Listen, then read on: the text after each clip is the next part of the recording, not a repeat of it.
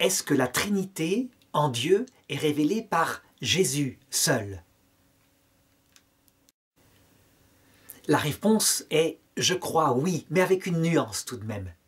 Oui, en ce sens que cette Trinité qu'on va découvrir dans le Dieu unique, c'est sa vie intérieure. C'est quelque chose d'intime. Et donc, seul quelqu'un qui vient de cette Trinité pouvait en parler. Cependant, dans l'Ancien Testament, il y a un lieu particulier où visiblement la Trinité est révélée. Mais sous forme d'image, c'est dans la Genèse chapitre 18, 1.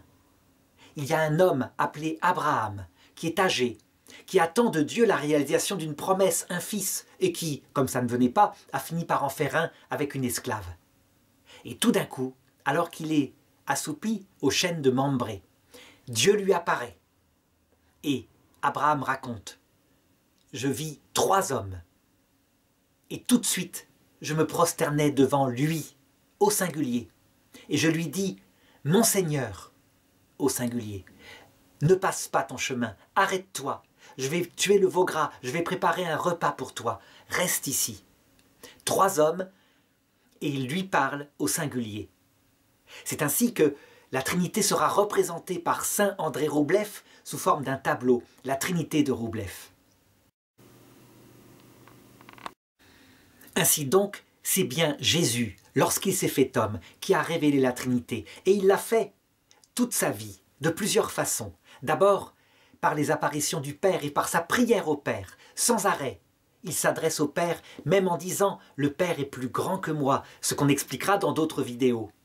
Mais, en même temps, il se dit Dieu, il le dit textuellement. Par exemple, à des hommes qui lui disent Mais qui es-tu? Tu n'as pas cinquante ans et tu prétends avoir connu Abraham? Jésus répond En vérité, je vous le dis, avant qu'Abraham n'ait existé, je suis ce qui se prononce en hébreu Yahvé. Et alors, les Juifs prennent des pierres pour le lapider. Jésus leur dit Pour quelle œuvre voulez-vous me lapider?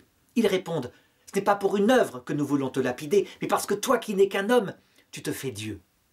Certains disent Jésus n'a pas dit qu'il était Dieu. Si, il l'a dit. Il s'est attribué le nom de Yahvé et il s'est attribué des propriétés que Dieu seul peut faire je vous ressusciterai à la fin du monde. Il le dit au moins quatre ou cinq fois dans l'Évangile. Celui qui croit en moi, je le ressusciterai à la fin du monde. C'est une action qui n'appartient qu'à Dieu, comme pardonner les péchés aussi. Et puis, c'est lui, Jésus, qui révèle le Saint-Esprit, qui l'enverra. Et il faut qu'il parte, sinon l'Esprit Saint ne pourra pas venir dans le cœur des gens. Le paraclète, que le Père enverra. Ça veut dire que ce paraclète, ce Saint-Esprit, est envoyé à la fois par le Père et par le Fils, ce qui signifie qu'il a une origine des deux. Eh bien, les premiers apôtres seront confrontés à cela. Il y a un seul Dieu, c'est la foi juive qui le dit, il n'y a qu'un seul Dieu.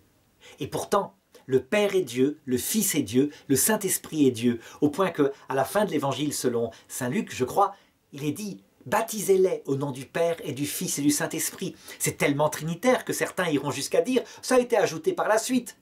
Pas du tout. Dans l'Évangile, on le voit nettement. Le Père, le Fils et le Saint-Esprit sont Dieu. Le problème de l'Église, après, ça va être de comprendre comment il peut y avoir un seul Dieu et puis trois personnes en Dieu.